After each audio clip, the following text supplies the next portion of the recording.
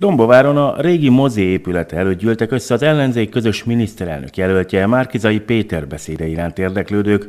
Hódmezővásárhely polgármestere elsőként a helyszínen jelenlevő nyugdíjasokhoz szólt. Azoknak azt mondjuk, hogy egy olyan rugalmas nyugdíjba vonulási rendszert fogunk bevezetni, ahol nem csak a nők 40 marad meg, hanem akár a férfiak is elmehetnek 40 évesen, vagy éppen tovább is dolgozhat. Természetesen, aki tovább dolgozik, magasabb nyugdíjra lesz jogosult. Markizai Péter beszélében nagy hangsúlyt fektetett arra, hogy szerinte ő vidékiként a Budapesttől távol élők szószólója tudna lenni a parlamentben.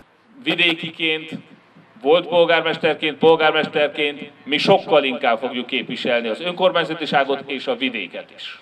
Markizai Péter nagyjából egy órán keresztül tartózkodott az Észak-Tolna megyei városban.